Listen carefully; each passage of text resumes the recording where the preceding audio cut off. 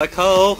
Black hole! Oh no, black holes aren't known for their sense of hearing. Don't tell me we have to go get him. You can't.